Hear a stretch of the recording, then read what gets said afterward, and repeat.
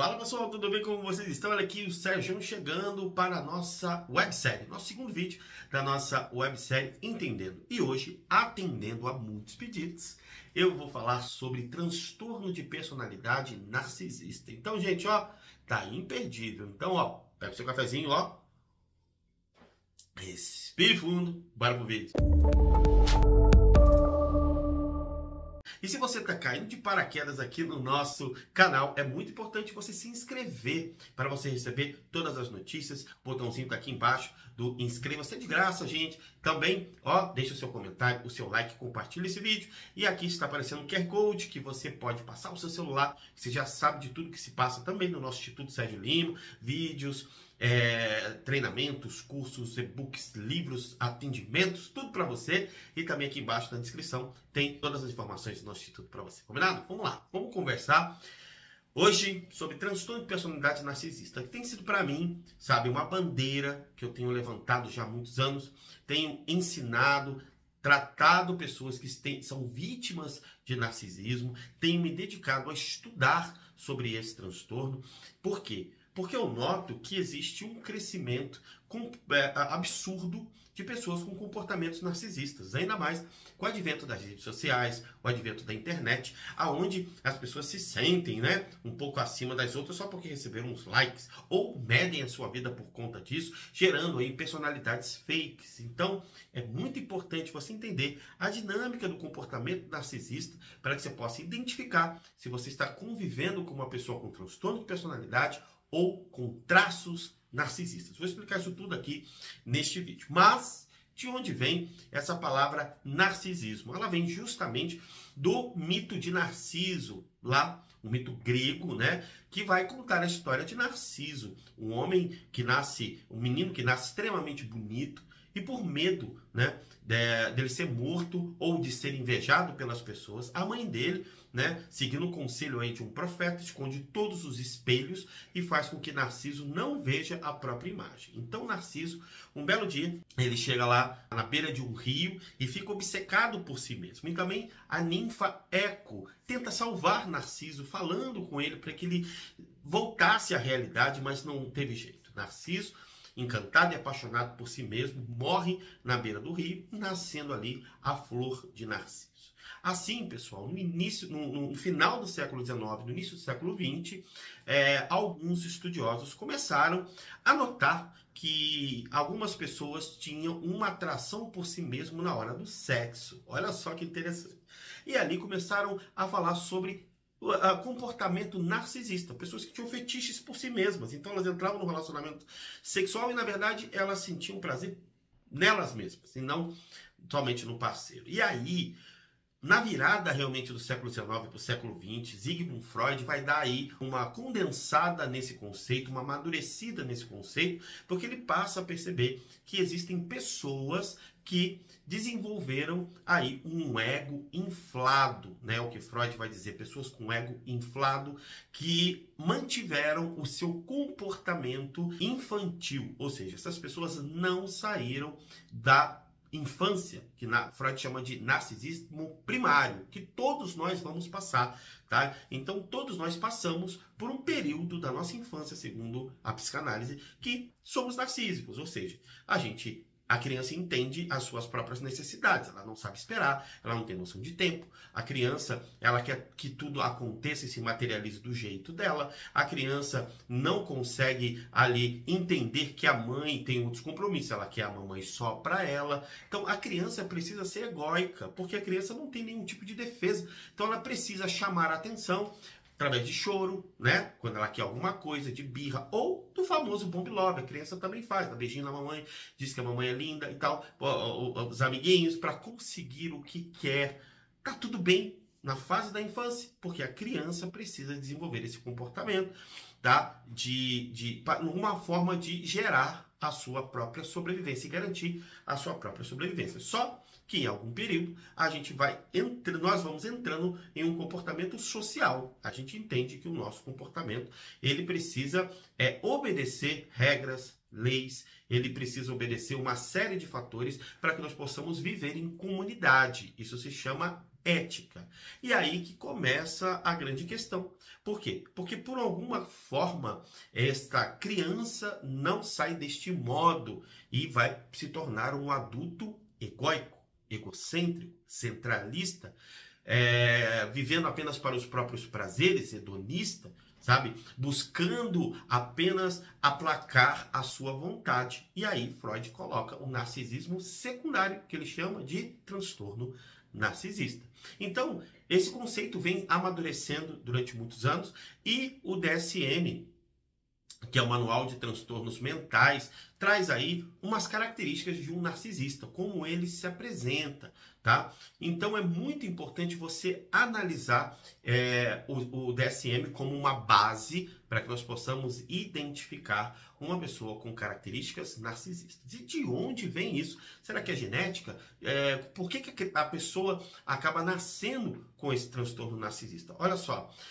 Hoje, né, já se sabe que a genética ela influencia muito pouco na nossa vida, tá? Depois do projeto Genoma de 2003, entendeu-se que existe algo chamado epigenética. Sérgio, o que, que é isso? Então, por mais que a pessoa venha de um ambiente tóxico ou de um ambiente onde os pais, parentes tiveram problemas mentais, transtornos mentais, problemas com vícios, sabe? Uma família disfuncional. O que vai garantir que esta pessoa tem um transtorno de personalidade narcisista é o meio, é epigenética. Ou seja, ele nasce com uma genética. Já se sabe que pessoas com transtorno de personalidade vêm de famílias tóxicas, de meios tóxicos, de pessoas é, que trazem históricos de problemas, doenças, transtornos mentais, emocionais, sabe, vícios, traições e por aí vai.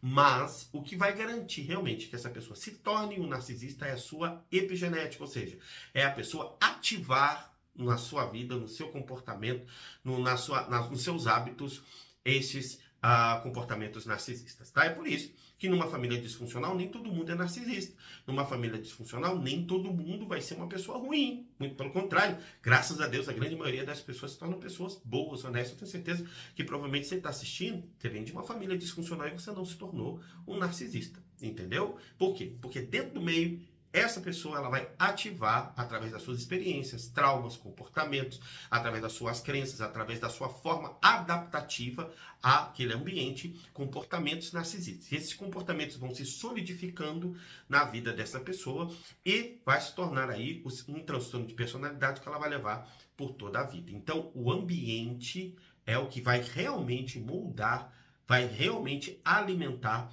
um comportamento narcisista. Então, o narcisista, gente, ao contrário do que muitas pessoas falam, ele não tem uma alta autoestima ou uma boa autoestima, tá? Ele muito pelo contrário, ele tem uma autoestima extremamente deficitária. E ele precisa criar uma capa de defesa, tá? E esta capa de defesa é justamente a sua forma altiva, a sua forma arrogante, a sua forma de humilhar e pisar nas pessoas. O narcisista precisa se sentir importante para poder é, se sentir alguém. Então ele precisa pisar em alguém para se sentir alguém. Mas por dentro ele tem um grande vazio existencial. Todo narcisista ele tem um vazio na alma, um vazio existencial. E para se defender disso, ele cria esta falsa capa de pessoa perfeita, de pessoa incrível, de pessoa legal, de pessoa bacana, de pessoa bem resolvida, mas ele precisa sempre pisar, manipular, enganar para se sentir importante, se sentir alguém, se sentir no controle. Entendido? Então, a, o narcisismo, sabe, ele vai ser sempre um transtorno constante, permanente e repetitivo. Então, ele começa realmente a ser formado lá na infância. Quando? Quando essa criança, ela sofre bullying, ela sofre abuso, ela é diminuída, sabe? Ela é, é, é descartada ali da família, ela não, não participa, sabe? Ela recebe palavras agressivas desse pai, dessa mãe, de invalidações desse pai e dessa mãe, dos amiguinhos, dos colegas e tudo mais. Ou o contrário, tá? Ou esse narcisismo, esse narcisista, ele vai desenvolver é, ser o reizinho da casa, sabe? Ele é habilitado a fazer tudo, é o filhinho de ouro, ele é o protegido, ele é o melhor, ele não erra nunca, ele, ele é o mais bonito de todos. Então, essas duas polaridades são duas polaridades que vão, sabe, contribuir para que a pessoa desenvolva um transtorno de personalidade. Ou ser extremamente humilhada na infância, então ela vai criar essa defesa, ninguém me pisa mais, então antes que pisar em mim, eu piso em você, ou eu sou melhor do que todo mundo, sabe? Mamãe passa a mão na cabeça, todo mundo elogia, todo mundo exalta e coloca alta expectativa nesta pessoa. Então ela vai crescer sabe? Com esta com este comportamento, pode, né, crescer com este comportamento e se tornar uma pessoa narcisista. Então, como eu estava dizendo, o transtorno é sempre constante, permanente repetitivo, tá? Então, uma pessoa com traços narcisistas que nós falamos, aliás, vou até explicar um pouquinho melhor. Existe as pessoas que têm o um narcisismo natural, que são todas as pessoas normais. Todos nós gostamos de ser elogiados, todos nós gostamos de ser aplaudidos, nós precisamos de validação, precisamos ser vistos, precisamos ser acolhidos, precisamos, sabe, se sentir importante, né? Se você faz aniversário e ninguém lembra, ninguém canta um parabéns para você, você fica triste e tá tudo bem. Então é no nível de que garante a nossa identidade, a nossa visão do eu, narcisismo natural. Todos nós o temos e precisamos ter para ter uma vida emocional saudável e equilibrada. Mas aí existem aqueles que passam do ponto, que são pessoas que têm traços narcisistas, ou seja, essas pessoas vão ser narcisistas em momentos específicos na vida. Você viu aquela pessoa que ganha muito dinheiro e de repente ele começa a pisar em todo mundo? Ele se sente o tal, ele se sente alguém, porque agora ele ganhou dinheiro, de repente ele perde tudo e volta a ficar humilde, fala, hum, aprendi uma lição.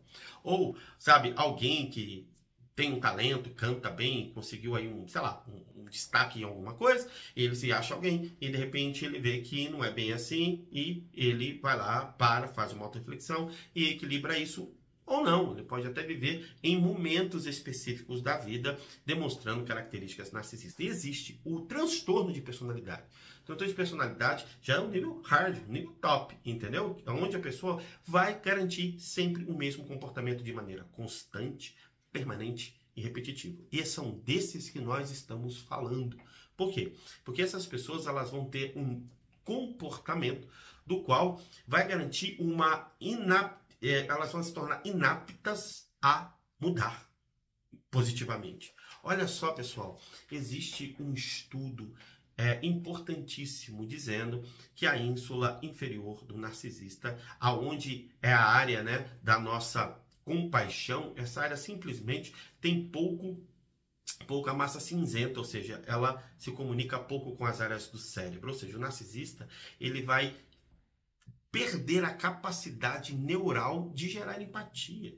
E essa é a grande característica. O narcisista ele sente pouquíssima empatia. Nós chamamos de empatia fria, ou seja, ele sabe que a pessoa está sofrendo, ele entende que a pessoa está sofrendo, mas ele não é jogado, sabe, impulsionado a ajudar aquela pessoa. Ele sabe que ele está fazendo mal para aquela pessoa, mas ele sente um prazer, um sadismo, uma alegria em é, gerar essa dor na outra pessoa. É isso que muitas pessoas não entendem, sabe? Então o narcisista ele vai ter essa característica da pouquíssima empatia, ele vai ter aqui, vou ler até mesmo aqui no DSM, tá? Vou fazer uma colinha aqui para trazer realmente a informação. Olha só, dentro do DSM existem nove características básicas de um narcisista. Então, se você conhece alguém assim, preste atenção. Vamos lá é, uma sensação exagerada e infundada da sua própria importância e talento. Ou seja, ele se sente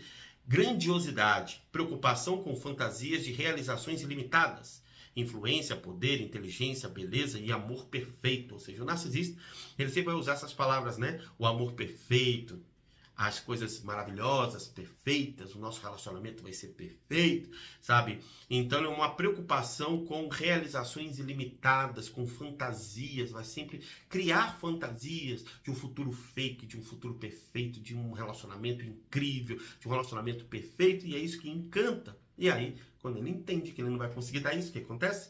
Ele entra no processo de humilhação. Convicção é, de que eles são especiais e únicos e devem associar-se apenas com pessoas do mais alto calibre. Então, o narcisista ele sempre vai querer se relacionar e vai sempre colocar muita expectativa na outra pessoa, tá? é, necessidade de ser incondicionalmente admirado. O narcisista precisa de atenção, ser admirado, ser visto, ser aplaudido por tudo que ele faz, mesmo quando ele está errado. Uma sensação de merecimento, ele merece tudo e o outro não merece nada. Ele quer sempre os bônus e nunca os ônus das relações. Exploração dos outros para alcançar objetivos próprios, ou seja, manipulação. Ele não tem problema em fazer isso. Falta de empatia é outro ponto. Inveja dos outros e convicção de que estão sendo invejados. Esse é o discurso do narcisista. Todos têm inveja de mim, todos querem me destruir, sabe? É, querem destruir o nosso relacionamento. Todo mundo tem inveja de mim. Arrogância e altivez. Ou seja, o narcisista ele sempre vai está se colocando acima de tudo e de todos. A vontade dele tem que ser resolvida na hora, os problemas dele têm que ser resolvidos na hora, as pessoas têm que estar sempre em volta dele, dando atenção, dando presença, dando carinho, dando tudo que ele precisa uh, e até no estado emocional que ele quer. Então, se ele quiser que você fique feliz, você vai ficar feliz, se ele quiser que você fique triste, ele vai ficar quer que você fique triste, você vai ficar triste. É assim que funciona, tá? Então, essas características precisam ser marcadas, elas precisam ser constantes, elas precisam ser permanentes na vida dessa pessoa. Então, para conhecer um narcisista realmente com um transtorno, você vai ver que ele repete esses ciclos durante a vida dele toda. Você vai ver que as pessoas falam, mas ele sempre foi assim, mas ele é assim mesmo, esse é o jeito dele, essa pessoa é assim. Olha só, ele vai trazer essa bagagem de outros relacionamentos. Você vai ver que o que ele faz com você dentro do relacionamento, sabe, amoroso, é o que ele já fazia, o que ele faz no trabalho, o que ele já fazia na outra empresa. Então o narcisista sempre vai ser marcado por ser constante, permanente e repetitivo, e ele vai ter sempre a busca de sedução, poder e controle. O narcisista é aficionado por seduzir, por isso que ele é tão bacana. Essa sedução, né, é, não é apenas só uma sedução para querer sexo, é uma sedução para que as pessoas o admirem, nesse sentido. Então ele vai se apresentar como uma pessoa bacana, legal, sociável, amigo, as pessoas vão gostar muito dele, vão exaltar, vão aplaudir. E aí, dentro disso, o narcisista sempre vai escolher algumas vítimas, que normalmente são pessoas que têm dependência emocional, carência emocional, e é dessas pessoas que ele realmente vai se aproveitar ele vai mostrar a verdadeira face, do qual ele vai realmente entrar num processo de humilhação, de destruição emocional dessa pessoa, de pisar, de sugar, de usar essa pessoa como escada, como suprimento para que ele possa conseguir sempre o que quer. E depois que ele consegue o que quer, o que ele faz? Ele descarta, ele vai para outro relacionamento, para outro lugar ou para outro ambiente fazer exatamente a mesma coisa que ele fez. Então, constante, permanente, repetitivo e sedução, controle e poder sempre. Então fique de olho. E o narcisismo, como todo transtorno de personalidade, não vem sozinho. Então o narcisista ele pode desenvolver uma série de outros transtornos, como por exemplo, ele pode desenvolver é, traços borderlines. Então muito normal, narcisistas com traços borderline, borderlines, narcisista com traços histriônicos, narcisistas com traços antissociais. Tá? Então o narcisista ele pode ter traços de psicopatia, de alta perversidade também. Também ele pode desenvolver transtornos de humor, como por exemplo, bipolaridade, depressão, ansiedade. Tá? Muitas vezes o, o, narcisismo ele pode também já ter uma condição da infância de TDAH, transtorno de déficit de atenção e hiperatividade.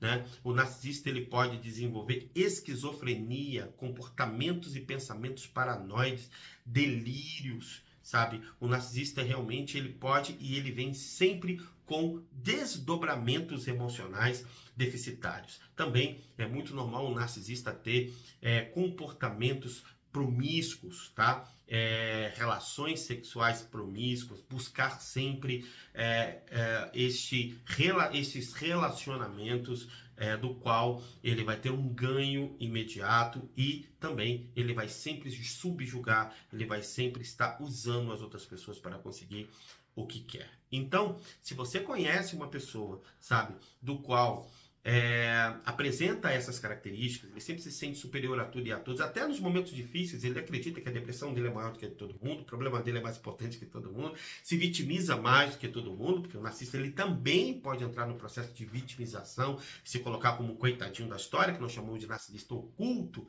e na verdade ele vai realmente entrar nesse processo de é, sempre manter as pessoas presas a ele através da manipulação, da sedução e do controle. Então, se você conhece alguém assim, com essas características, não fique esperando um diagnóstico, porque quem diagnostica um narcisista é um médico psiquiatra habilitado para fazer isso, tá? Ou um psicólogo habilitado para fazer isso. Não é uma coisa que a gente vai fazer aí a olhômetro, mas nós sempre vamos respeitar a sua história. Sérgio, o que, que isso significa? Não fique esperando um diagnóstico, não fique esperando essa pessoa ir no psiquiatra passar por todo o processo que pode levar anos para diagnosticar, sabe? Não fique esperando um papel. Você que está aí me vendo, que convive com alguém assim, você é esse diagnóstico, sabe? Você é esse papel. Por quê? Porque o convívio com o narcisista sempre vai ser cheio de emoções. Ele vai ser sempre te encher de expectativas, sempre vai te encher de falsas promessas e depois ele vai te humilhar, vai pisar, vai usar, vai sugar e vai te jogar fora. Então, quem convive com um narcisista sempre vai ter impactos emocionais terríveis na vida, sempre vai passar por momentos terríveis, sempre vai ter, sabe, transtornos é, emocionais, desdobramentos terríveis na vida, prejuízos financeiros, sempre você vai levar a pior. Então, para de ficar esperando, sabe, ou de ficar dizendo, ah, meu Deus do céu, vou esperar aqui e ver se ele tem uns nove. Porque se ele não tiver os nove pontos aqui do DSM, ele não é narcisista. Olha só, o DSM diz que se a pessoa tiver cinco ou mais, ela já é considerada alguém com altos. É, é, alguém com transtorno de personalidade narcisista. Então, não fique esperando. Não fique aí, sabe, deixando o tempo passar. Todo mundo que trabalha com, com pessoas é, é, vítimas de transtorno de personalidade, que entende de transtorno de personalidade, principalmente do grupo B, que são psicopatas, sociopatas, narcisistas, histriônicos e borderlines, vão dizer a mesma coisa. Se você convive com uma pessoa assim, se afaste. Por quê? Porque para narcisistas, sabe, a psicoterapia não funciona, terapia cognitiva comportamental não funciona, não existe nenhum remédio, nenhum fármaco que vai trabalhar essa questão de melhora da personalidade, entendeu? Não existe. Existe que melhorar de humor, sabe? Então, mas a personalidade não tem como. É algo que está intrínseco dentro da pessoa. Então, não se iluda. O que, que você faz? Se afaste. O que, que você faz? Contato zero. O que, que você faz? Busque ajuda para você. Não tente salvar esta pessoa. E se esse vídeo foi bacana para você, o que, que você vai fazer? Você vai deixar o seu like, você vai compartilhar, você vai escrever aqui embaixo o que, que você achou, se inscrever aqui no nosso canal e também, se você convive com uma pessoa assim, é importante você buscar ajuda para você. Então, você pode marcar sua sessão de terapia conosco pelo QR Code que aparece aqui ou pelo telefone 199 8840 5607 ou aqui embaixo também na descrição. Lembrando que nós temos um curso de formação em terapeuta. Você pode se tornar um terapeuta assim como o Sérgio e ajudar outras pessoas a saírem de relacionamentos abusivos. Quer saber mais? Você não precisa ter é, formação em, psico, em psicologia, em, em, em, nada disso. Você precisa apenas estar com seu coração aberto, com a sua mente aberta para se tornar um terapeuta e poder ajudar outras pessoas. O que, que você vai fazer? Também QR Code, também que embaixo na descrição, e você vai saber de tudo no nosso curso de formação em terapeuta totalmente online para você. Eu quero te ensinar a ajudar outras pessoas. Combinado, gente? Então, se esse vídeo foi bacana, deixa aí o seu like. Até o próximo. Fique com Deus. Paz e prosperidade.